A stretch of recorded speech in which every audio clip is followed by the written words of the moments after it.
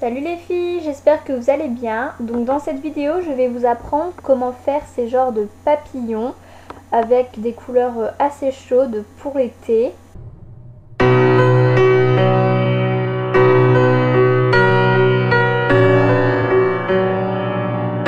Donc comme d'habitude, on aura besoin d'un top coat et d'une base, mais aussi d'une couleur orange. Donc moi c'est de chez Kiko le numéro 356.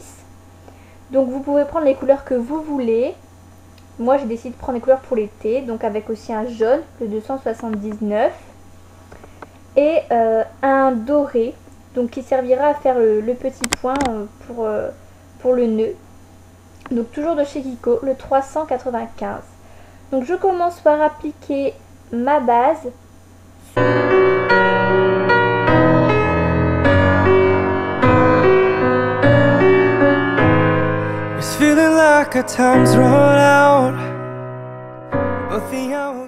Une fois que j'ai appliqué la base, je vais venir mettre le vernis orange sur tous les ongles, donc c'est la première couche.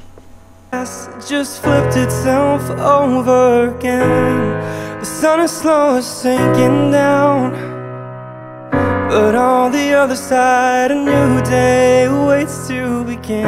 If you dare to believe in. Alors ensuite, je vais venir prendre un bout de scotch.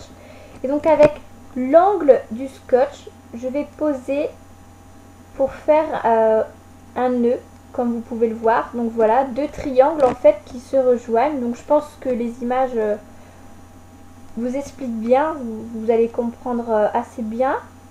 Donc voilà, je, je fais euh, une forme, une forme de, de nœud papillon avec l'angle du scotch. Donc je fais ça sur...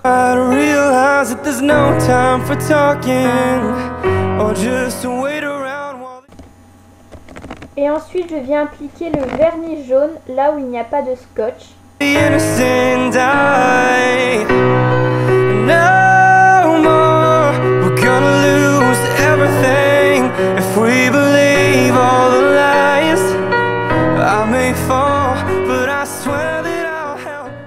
Une fois que tout est bien sec, on peut enlever le scotch. Donc c'est normal qu'il reste un peu de la colle du scotch.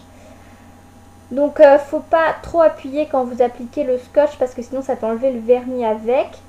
Mais sinon euh, c'est obligé que ça laisse des, résidus d'alcool. Mais ça s'en va soit avec le top coat comme moi, soit ça va s'en aller euh, tout seul. Faut vraiment pas vous inquiéter pour ça. Donc là vous avez pu voir que j'ai fait le petit doigt parce que j'avais pas fait assez de scotch donc je l'ai fait après. Là maintenant je fais les petits points donc avec le vernis doré. Donc ça, euh, je vous ai déjà expliqué dans une vidéo précédente comment faire des petits points sur ses ongles. Donc je vous laisse regarder.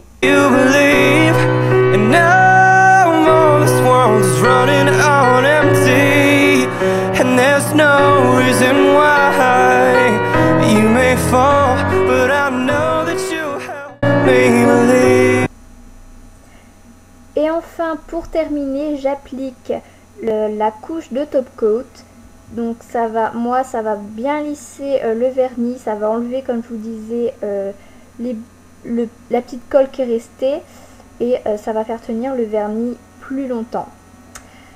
Après on prend un coton-tige qu'on imbibe de dissolvant et on enlève les résidus. Voilà les filles, j'espère que cette vidéo aura plu. Je vous fais gros bisous.